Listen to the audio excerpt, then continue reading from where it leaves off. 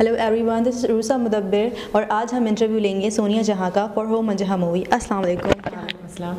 क्या हाल है? बस ठीक ठाक थैंक यू अच्छा मुझे आपसे क्वेश्चन करना था कि आपकी पाकिस्तान में फ़र्स्ट मूवी है तो आपका कैसा एक्सपीरियंस रहा?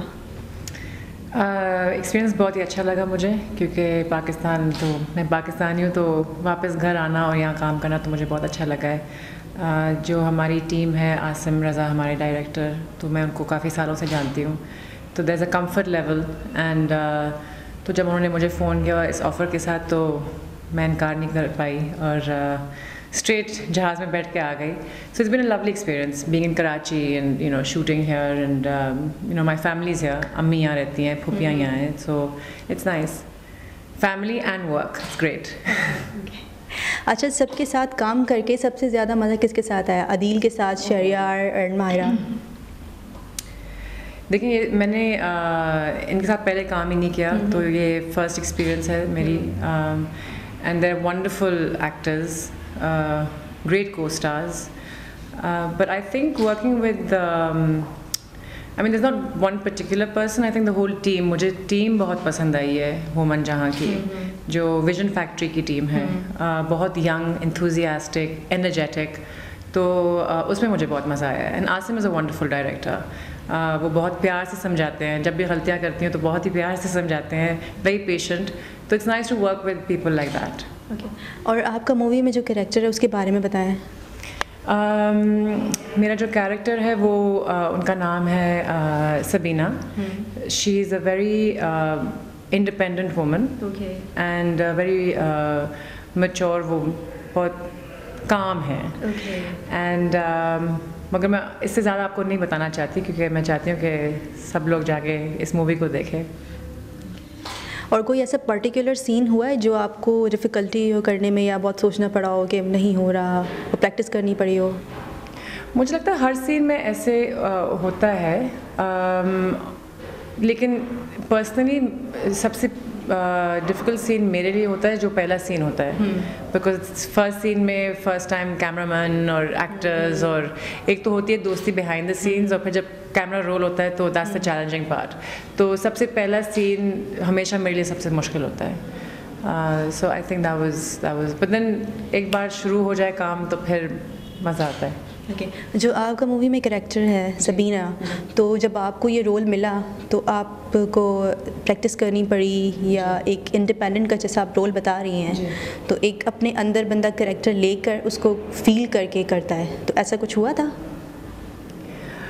um, हर रोल में चैलेंजेस होते हैं बट आई थिंक जब आसिम ने ये स्क्रिप्ट लिखी थी तो उन्होंने uh, जब सबीना का रोल था तो hmm. Um, he may have thought of me क्योंकि I am a strong strong headed person.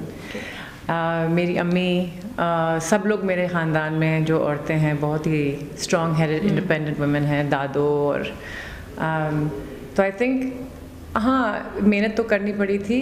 Um, मुझे लगता है कि कैरेक्टर से ज़्यादा मुझे जो डिक्शन है मेरी उर्दू जो है हम्म। उसमें मुझे ज़्यादा काम करना पड़ा था। क्योंकि मुझे अब हो गए हैं तेरह साल आ, इंडिया में। तो वहाँ बोलने का थोड़ा फ़र्क है। हम्म। अपन जाते हैं अपन आते हैं तो यहाँ ऐसे नहीं बोलते। तो वो जो कन्फ्यूज़न होती है मेरे लिए। बट या अच्छा आपने इंडिया में भी मूवीज़ की हैं अब पाकिस्तान में पहली मूवी है तो ज़्यादा मज़ा किसमें आया? देखिए मुझे एक्टिंग का क्राफ्ट बहुत हम्म, पसंद है। हम्म। तो जब मैं प्रोजेक्ट लेती हूँ तो मैं ये नहीं सोचती कि जी ये पाकिस्तानी है और ये इंडियन है और ये वेस्टर्न है तो मैं हमेशा पहले टीम को देखती हूँ कि who is a team who is the director और एक्टिंग में हर फ़िल्म जो मैंने की है मुझे मज़ा आया है। और हर फ़िल्म में मैं रोई भी हूँ क्योंकि कुछ दिन होते हैं जब मुझे लगता है कि मैंने अच्छा काम नहीं किया या मुझे चैलेंजेस बहुत ज़्यादा थे। तो every film has you know you have good days you have bad days आपको भी ऐसे होता होगा कि आपने हाँ. तो सेम थिंग अच्छा जो मूवी में आपका रोल है वो और जो रियल में सोनिया जहाँ है कितना मैच करता है? Um, आप आप कोशिश कर रही है उस रोल के बारे में। नहीं मैच तो uh, करता है। Like I said strong headed औरत है तो I think that's where I can relate to Sabina but she is also very mature in a way जो कभी कभी आई एम ऑल्सो मेरा जो गुस्सा है बहुत तेज़ है। तो उनका गुस्सा इतना नहीं है। अच्छा। तो उसमें ये मैंने कुछ सीखा है इस कैरेक्टर से। अच्छा तो आपका ओवरऑल कैसा एक्सपीरियंस रहा वो मंजा में काम करके? अमेजिंग ये मेरी पहली पाकिस्तानी मूवी है। अब मैं ये नहीं कह सकती अगर एक और करूँगी या तीसरी अब मुझे नहीं पता। uh, लेकिन ये uh, बहुत अच्छा एक्सपीरियंस रहा मेरे लिए।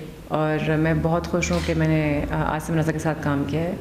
एंड uh, मेरी मुलाकात हुई है इतने नए लोगों के साथ and the wonderful people great actors and very nice इसमें ये वो नहीं था कि जी जेलसी uh, हो रही है या कंपटीशन हो रहा है. यू नो वी वो ऑल मैं भी सीख रही थी वो भी सीख रहे थे तो very nice kind of a family unit so lovely और आसिम रज़ा के साथ कैसा एक्सपीरियंस रहा आपका?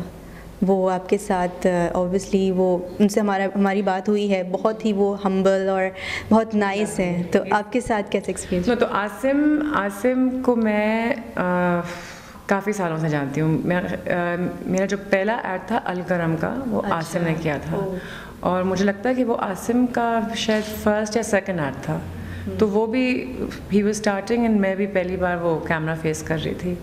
तो मैं उनको बहुत सालों से जानती हूँ। तो there a comfort level with Asim जब भी मुझे कोई डिफ़िकल्टी लगी है तो मैं आसिम को डायरेक्टली बोल लेती हूँ। मुझे कोई ये नहीं है कि वो डांटेंगे या गुस्सा हो जाएँगे। तो it's he is a very like you said very humble and very kind वो किसी की कोई बुराया नहीं करते।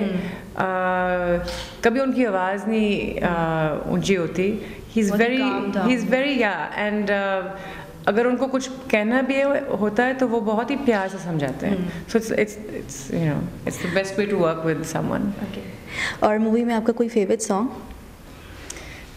मुझे इस मूवी में सच बताऊँ तो मुझे सारे सॉन्ग्स पसंद हैं क्योंकि जो एल्बम है इतना डाइवर्स है hmm. ये नहीं है कि एक स्टाइल एक किस्म hmm. का आ, के गाने हैं hmm. इसमें दस फोक सॉन्ग्स दस there's a dance, yeah. there's a jazzy, totally there's, musical. It's everything, and I love music. तो मुझे सारे गाने पसंद हैं.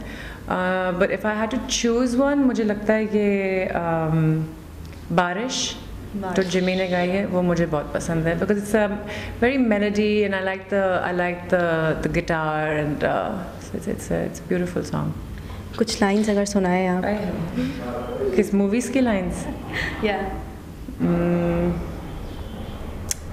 मूवीज़ की lines uh,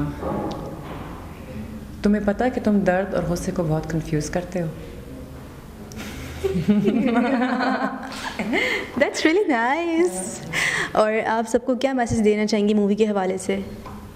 well well, um, हमारी मूवी फ़र्स्ट ऑफ़ जनवरी को निकल रही है एंड uh, मैं I am expecting all of you to come and watch the movie it's going to be fun exciting and सब निकलेंगे cinema से बहुत खुश. So take your families and go watch human जहाँ thank you so much for time thank you thank you so much